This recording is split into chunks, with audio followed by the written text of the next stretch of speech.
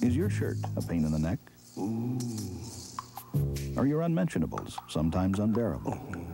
Maybe you have sensitive skin and your clothes are trying to tell you something. Well, now there's new dermatologist-tested Cheer Free, a detergent free of dyes, free of perfumes, so your clothes are free of the residue that can irritate sensitive skin.